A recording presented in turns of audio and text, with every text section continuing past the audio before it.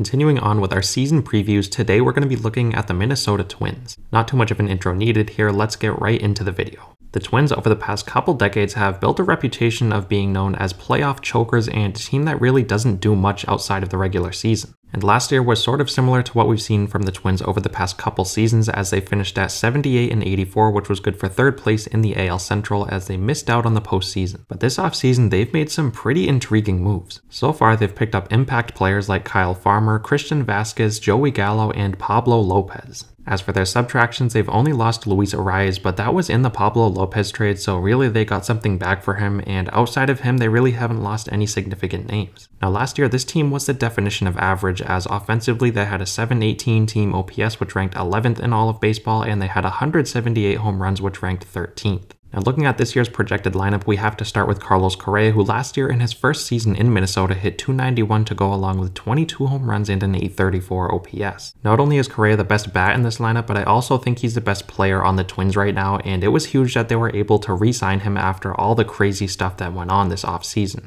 They also have another impact player in Byron Buxton, who last year, when healthy, was great as he hit 224 with 28 home runs and an 833 OPS. On top of the middle of the order power this guy provides, he's also one of the best defensive outfielders in the league. He is a gold glove caliber outfielder and he is all around one of the best twins. Another impact player on this offense is Jorge Polanco, who last year hit 235 to go along with 16 home runs. For Polanco standards, those numbers weren't great, but I fully expect him to bounce back and put up close to all star caliber numbers next year. Behind the plate, they have Christian Vazquez, who they picked up from the Astros, who last year hit 274 to go along with 9 home runs. Kyle Farmer was another pickup from the Reds, who I really like. Last year, he hit 255 with 14 home runs and 78 runs driven in. They also have a very underrated infielder in Jose Miranda, who last year hit 268 with 15 home runs and a 751 OPS. Now, looking at their outfield, they have Max Kepler, who last year wasn't great. He hit 227 with 9 home runs, but in the past, he's played much better and he really can't get much worse than he was. Nick Gordon is another decent outfielder who last year hit 272 with 9 home runs and 6 stolen bases. And they also have Joey Gallo, who they picked up from the Dodgers. Yes, he's not going to hit for the best average in the world, but he does provide you with decent pop. And a couple other younger guys who I think could have an impact on this offense are Royce Lewis and Alex Kirilloff. They're both injured right now. Kirilloff will be back at the start of the season. Lewis, on the other hand, is going to be out for a good chunk of the season, but both of them I think have potential to have an impact on this offense.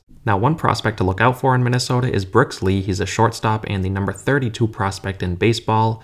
He's probably not going to get much at bats this year with the depth chart and the players they have ahead of him, but if injuries come up, he could see the big leagues. So, as a whole, Minnesota's offense isn't too bad. Last year, they finished just outside of the top 10, and after losing Luis Arraez, that is going to hurt, but they also picked up some impact bats in Kyle Farmer, Christian Vazquez, and Joey Gallo, so I think they have the potential to be close to top 10 yet again. Now, as for their pitching, it was a little worse than their offense as they had a 3.98 team ERA, which ranked 19th.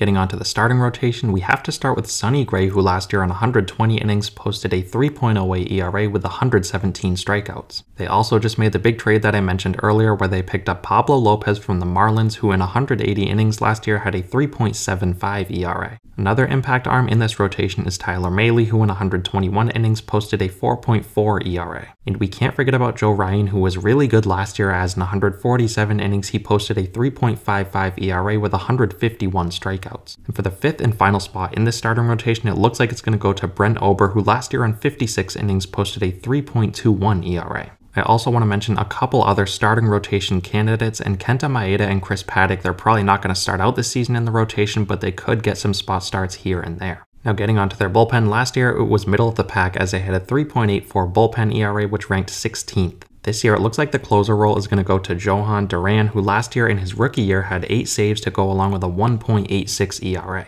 They also have Jorge Lopez, who will most likely get a lot of the 7th or 8th inning work. Last year, he had 23 saves and a 2.54 ERA. Another impact arm in this bullpen is Griffin Jax, who last year in 72 innings had a 3.36 ERA. And a couple other arms who could have an impact on this bullpen are Jovani Moran and Caleb Thielbar. So I do like this bullpen, especially with Jhoan Duran in the ninth inning role. I think he's going to thrive as he has some of the most electric stuff in baseball. So now that we looked at this roster top to bottom, let's take a look at their 2023 outlook record-wise. Now before I actually went through and looked at this roster, this was the thumbnail I put together. I wasn't too confident in this team, but now that I actually we look through this roster, I think they have potential to make the postseason. I really do like the offseason additions they made on top of re signing Carlos Correa. Also, I'm a big fan of their starting rotation. They have five pretty decent pitchers who might not make the All Star team but are going to be pretty dang good. And as I just mentioned, they have a pretty electric bullpen with Jhoan Duran and Jorge Lopez, who both have closing experience in the past. So this Twins roster doesn't really jump off the page at anything. In fact, they're pretty average all around, but with the division they're in and the pickups they made this offseason, I really do like them winning 85 to 90 games but it is the Minnesota Twins we're talking about today, so I could also see them finishing right at or just below 500. But I'm going to stay optimistic today. I'm going to say the Twins are going to win right around 85 games, and if all goes well, I could also see them winning 90. Let me know what you guys think of the Twins down below. Thank you guys so much for watching, and I'll see you next time.